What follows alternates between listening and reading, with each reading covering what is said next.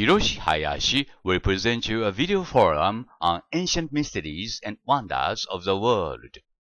Today's story starts with a verse from Ezekiel chapter 43 in the Holy Bible, in which it writes as follows. And behold, the glory of God of Israel was coming from the way of the east. And his voice was like the sound of many waters, and the earth shone with his glory. エゼキエル43章は次のように書いています。見ろ、イスラエルの神の栄光は東からやってきた。神の声は怒涛のごとく、そして神の栄光は大地を照らした。と。バチカンは東向きに建てられています。が、正確ではありません。真東からはややずれています。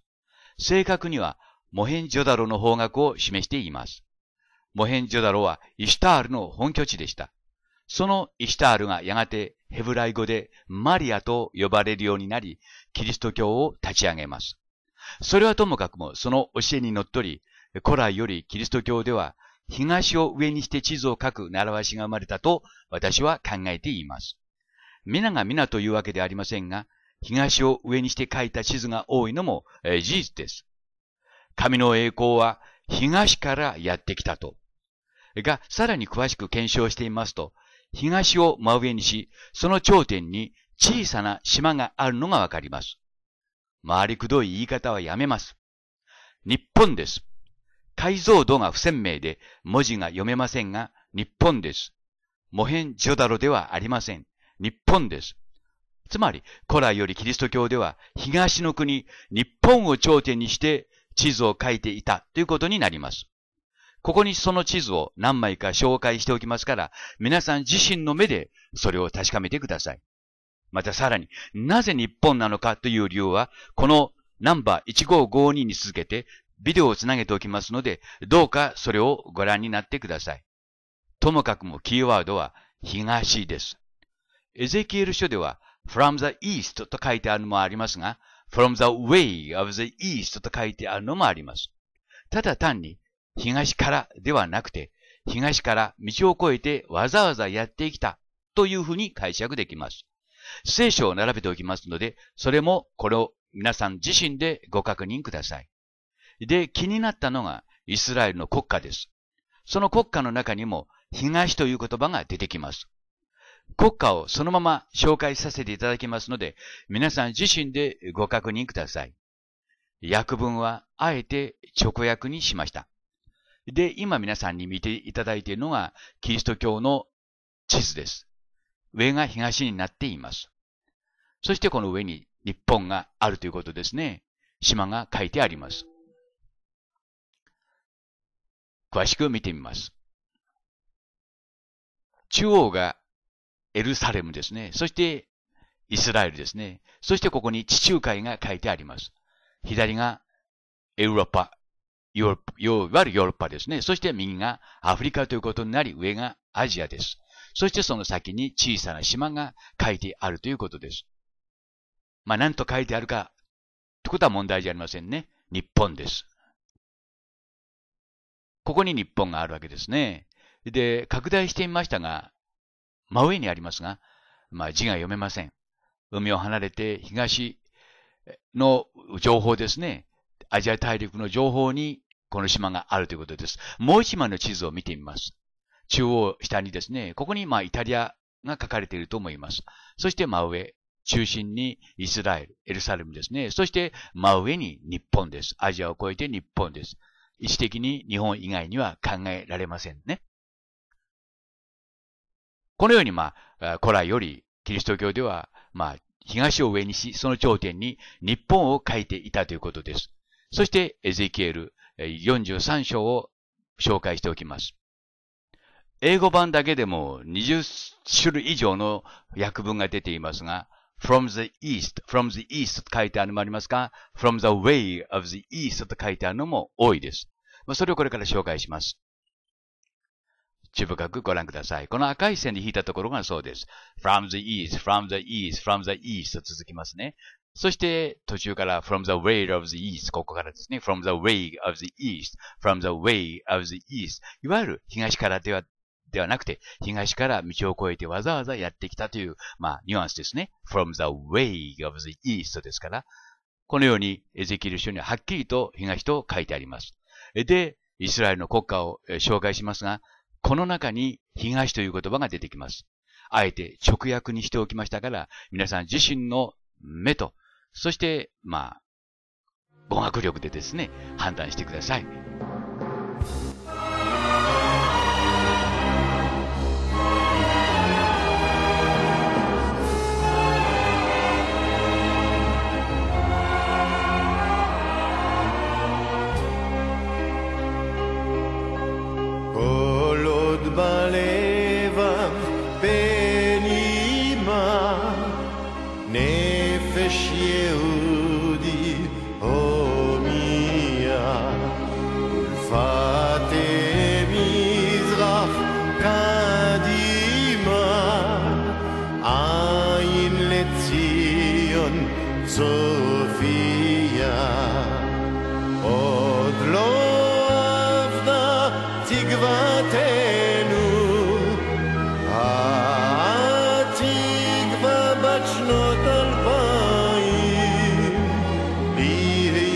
nam chofshi be'achtzenu Eretz Zion Yerushalayim Liyotam chofshi be'achtzenu Eretz Zion Yerushalayim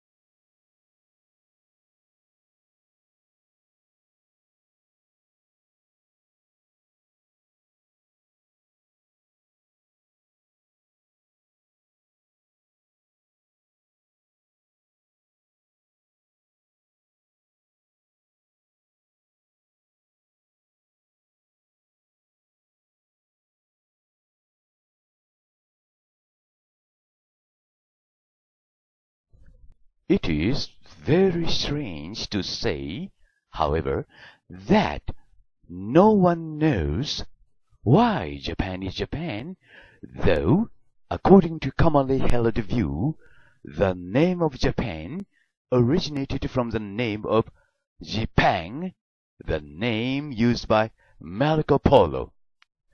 Here is another view in which I may claim that Japan or Japan came from God all since I have some concrete reason.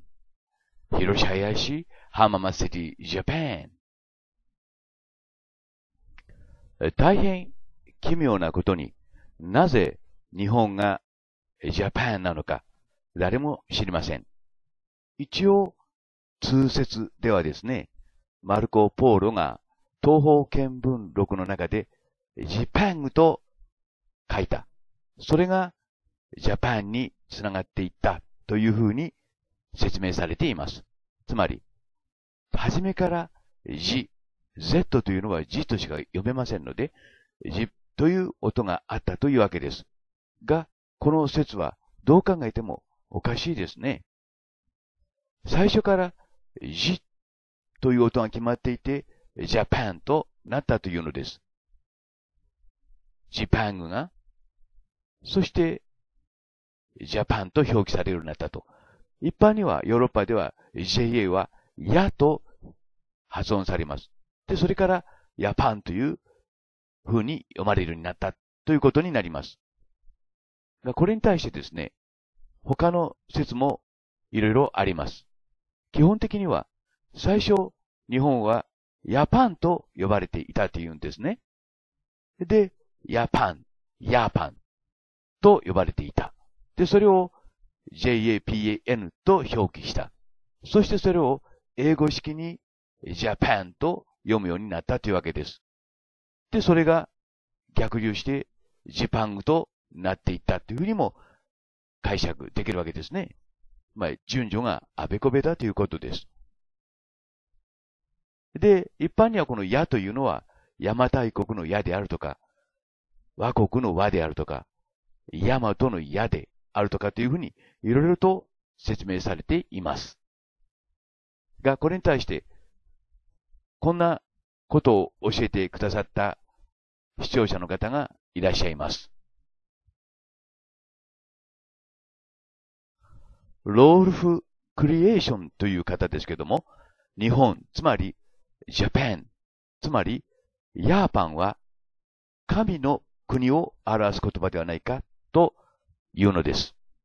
ヤーというのは確かに神という意味なんですね。で、パンが問題なんです。まあ、いろいろな意味があるそうです。ヘルメス、あるいはトートの、えエメラルドタブレット、あるいはディオニソスなど。ここに出てきますエメラルドタブレットというのは、古来より錬金術のですね、秘宝を、まあ、記したタブレットと言われています。で、これについて、えどう思いますか？と。ヤーが神を表す言葉であることは、これはわかりやすいですね。後でも言いますが、ユダヤ教では絶対的な神をヤーウェと発音しています。ヤー。ヨーロッパ方式で読めば、ヤーですね。ヤー、パン。それがジャパンになったということです。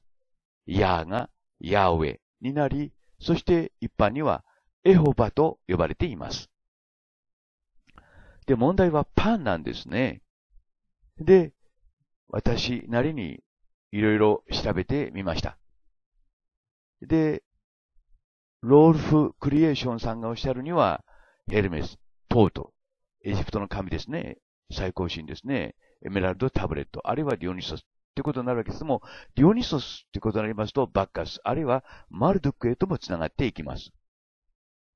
で、この繋がりがよくわからないもんですから、まあ、なんとか質問したんですけども、今のところ返事は届いていません。で、私なりに調べてみました。これがエメラルドタブレットと言われているものです。錬金術の秘宝が書かれているそうです。で、パンっていうのはですね、ギリシャ語なんですね、もともとは。すべて、あらゆるという意味です。パン。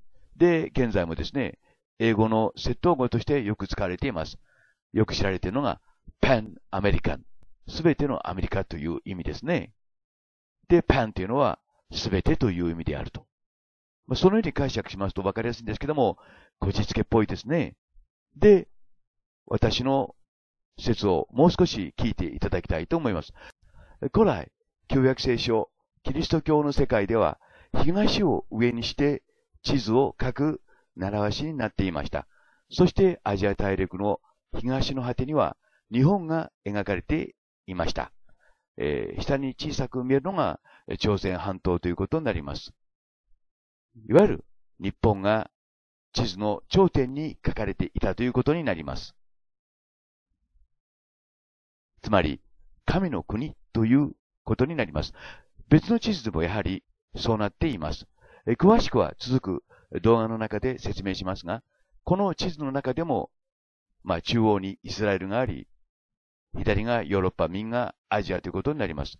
ブルーの部分が地中海ということになります。そしてアジア大陸の果てに、やはり同じように小さな島、日本が描かれています。この黄色い部分がアジア大陸ということになります。そして頂点に日本が描かれています。ここですね。で、拡大してみますと、やはり日本が描かれ、右下に朝鮮半島らしき、えー、半島が描かれています。つまり、日本はまさしく神の国であったということになります。で、ここにあるのが朝鮮半島ですね。で、ここが、これが日本ということになるわけです。ここが重要ですから、もう一度繰り返します。えキリスト教の世界、旧約聖書の世界では、東を上にして地図を書く習わしになっていました。そしてその東の頂点に小さな島があります。この島はどこかということですけども、もう一枚の地図で確認してみます。これも東が上になっています。そして、まあ、東、つまり真上に小さな島が描かれているのがわかります。一番上の赤い丸に注意してください。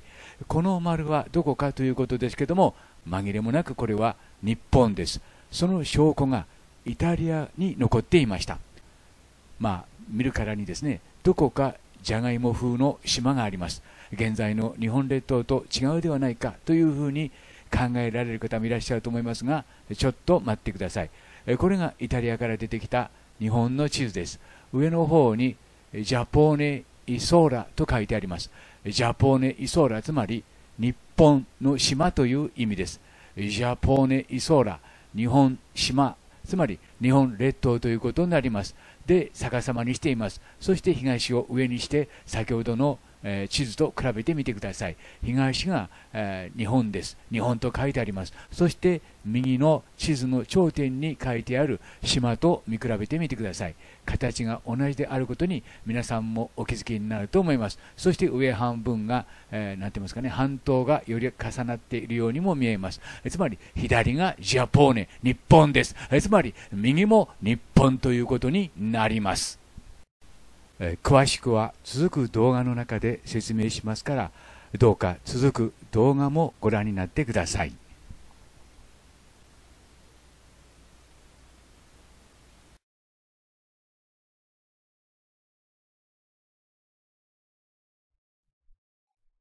つまり、旧約聖書及びキリスト教の世界では、日本は神の国として表現されていたということになります。となりますと、ジャパンがですね、神の国という意味を持っていたとしてもおかしくないということになります。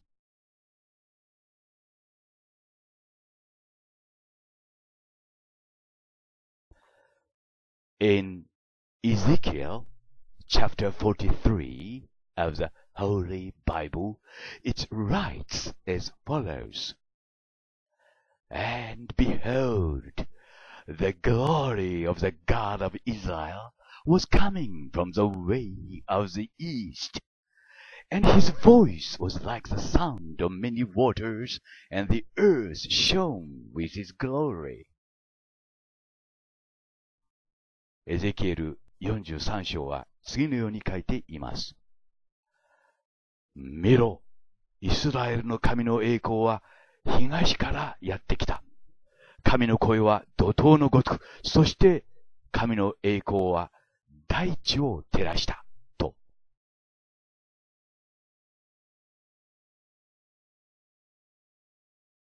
実際、ユダヤ教の最高神をヤーウェと言います。そして英語式に書けば、ヤーウェと書きます。ここなんですね。ヤーウェ。ヤーと発音しています。これはヤーとしか読めません。が、ヤーをですね、別の書き方をしますと、ヤーと書けるわけです。まあ、ヨーロッパ方式ですね。それにパンがくっついた。とも解釈できるわけです。すなわち、ヤーパンとなるわけですね。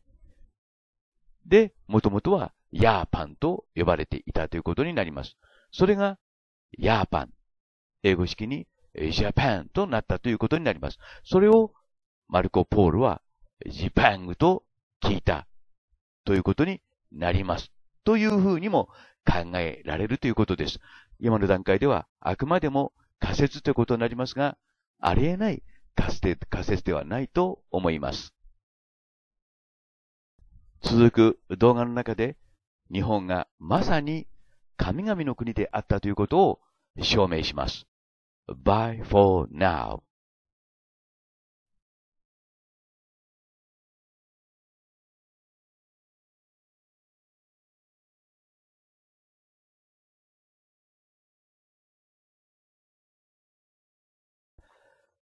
In Ezekiel chapter 43 of the Holy Bible, it writes as follows.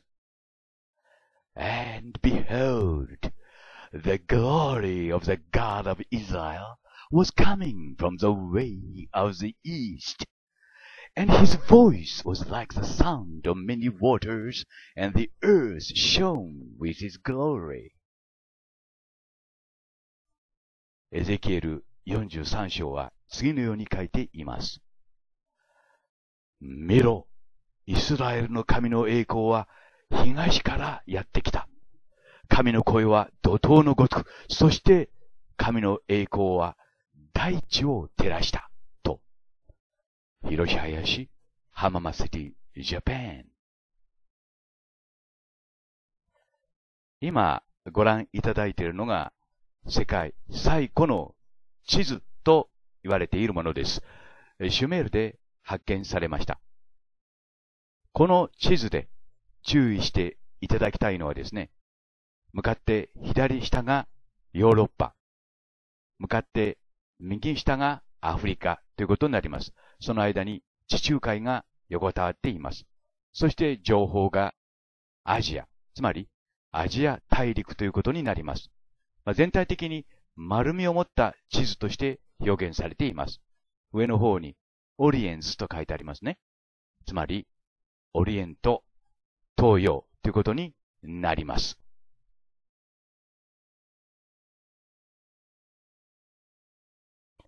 一般的には、旧約聖書の世界では、東を上にして地図が表現されています。現在私たち人間が使っている地図は、北極、つまり北が上になっていますが、シュメール、バビロニアでは東を上にして各習わしになっていました。えー、向かって左側がヨーロッパ、右側がアフリカ、そして上がアジアということになります。具体的に地図を見てみます。これは紀元後に書かれた地図ですけども、まだ今から1000年近く前まで、前までこうした地図が使われていました。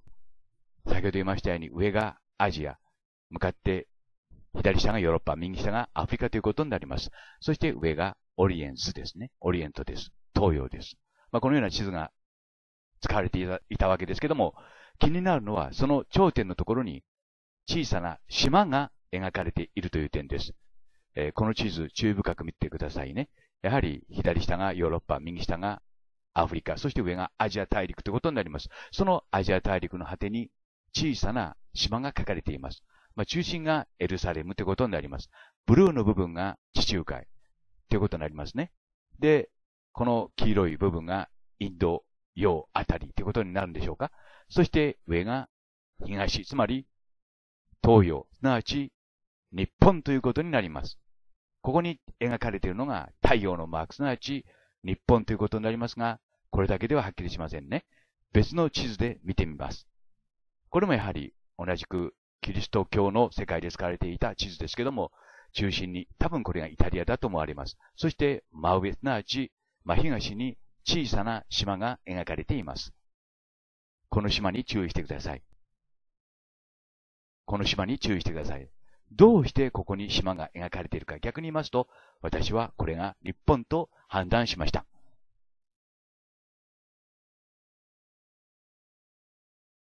もう一枚の地図で検証してみます。基本的には同じ書き方です。で、この中央にエルサレムがあります。イスラエルですね。そしてブルーの部分が地中海です。そして左にヨーロッパと表記してあります。そして右、グリーンの部分がアフリカ。そして上、黄色い部分がアジア大陸ということになります。そのアジア大陸の東の果てに小さな島が描かれています。この島に注意してください。アジア大陸の果て、この位置に位置する島は日本ランドを置いて他にありません。皆さん、これが日本です。古来より、旧約聖書の世界では日本をこのようにして描いていました。右下に見えるのがこれ朝鮮半島のように思います。その上に日本ランドがあるということですね。もちろんこれは日本です。神々の国、日本です。他の地図でもやはり上の方に日本ランドが描かれているようです。さらに、この地図ははっきりしています。その中央上に島が描かれ、その上に太陽が描かれています。火のいずる国、日本ということになります。皆さん、日本という国は大変な国なんですよ。それを皆さんに分かっていただきたかったので、この動画を皆さんに改めて紹介することにしました。Bye.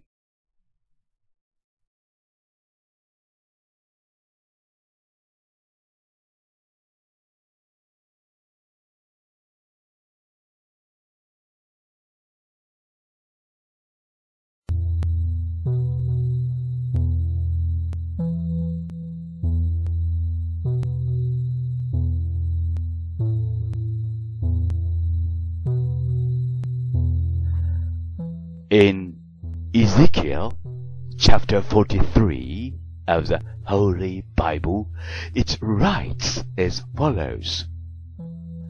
And behold, the glory of the God of Israel was coming from the way of the east. And his voice was like the sound of many waters, and the earth shone with his glory. エゼキエル43章は次のように書いています。見ろ、イスラエルの神の栄光は東からやってきた。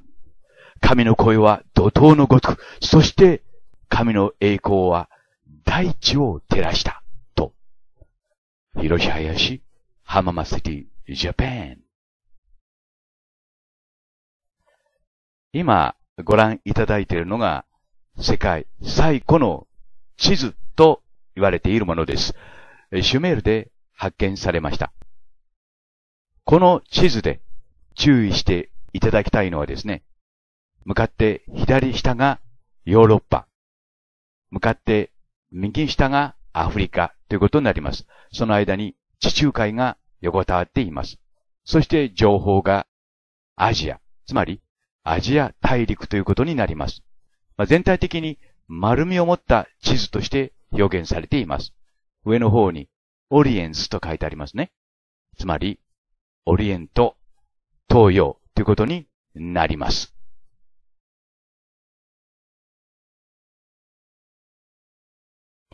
一般的には、旧約聖書の世界では、東を上にして地図が表現されています。現在私たち人間が使っている地図は、北極、つまり北が上になっています。が、シュメール、バビロニアでは東を上にして書く習わしになっていました。えー、向かって左側がヨーロッパ、右側がアフリカ、そして上がアジアということになります。具体的に地図を見てみます。これは紀元後に書かれた地図ですけども、まだ今から1000年近く前まで、前までこうした地図が使われていました。先ほど言いましたように上がアジア、向かって左下がヨーロッパ、右下がアフリカということになります。そして上がオリエンスですね。オリエントです。東洋です。まあ、このような地図が使われていたわけですけども、気になるのはその頂点のところに小さな島が描かれているという点です。えー、この地図注意深く見てくださいね。やはり左下がヨーロッパ、右下がアフリカ、そして上がアジア大陸ということになります。そのアジア大陸の果てに小さな島が書かれています。まあ、中心がエルサレムということになります。ブルーの部分が地中海ということになりますね。で、この黄色い部分がインド洋あたりということになるんでしょうか。そして上が東、つまり東洋、すなわち日本ということになります。ここに描かれているのが太陽のマーク、すなわち日本ということになりますが、これだけでははっきりしませんね。別の地図で見てみます。これもやはり同じくキリスト教の世界で使われていた地図ですけども、中心に多分これがイタリアだと思われます。そして真上、すなわち真東に小さな島が描かれています。この島に注意してください。この島に注意してください。どうしてここに島が描かれているか逆に言いますと、私はこれが日本と判断しました。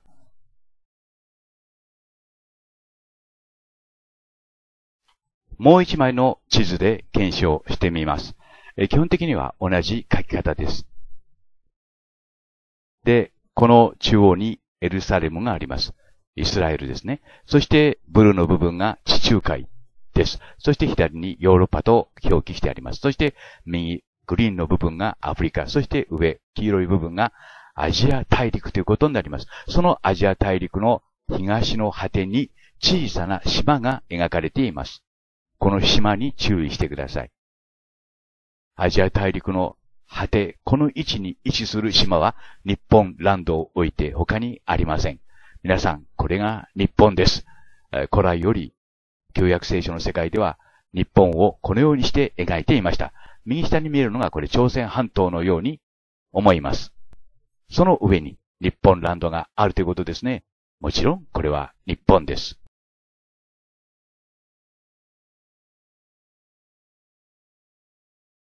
その証拠がイタリアの古地図の中から出てきました。それをこれから皆さんに紹介します。その古地図を集めたサイトです。その中にジャポネ・イソーラという島が出てきます。ジャパン・アイランドという意味です。これが皆さん日本です。他にもいろいろな地図が紹介されていますが、ここでは省略します。ともかくも、この古地図集の中に、ギャポネ・イソーラ、日本アイランドが出てきたというわけです。上にジャポネ・イソラと出ていますね。そしてこの形に注意してください。どこか丸っぽい現在の日本地図とは違いますが、この地図と先ほど紹介しました古地図の中に描かれている島と比較してみます。180度回転しました。上が、まあ、この地図では東ということになります。そして先ほどの地図の中に描かれている島と比較してみてください。同じということが皆さんお分かりになると思います。つまり、右の古地図の中の上に書かれているのは、日本アイランド、ジャパンアイランドということになります。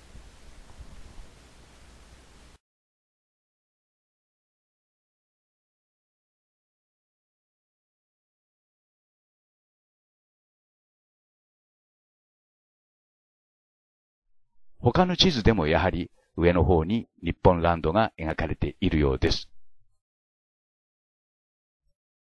さらに、この地図ははっきりしています。その中央上に島が描かれ、その上に太陽が描かれています。火のいずる国、日本ということになります。皆さん、日本という国は大変な国なんですよ。それを皆さんに分かっていただきたかったので、この動画を皆さんに改めて紹介することにしました。Bye.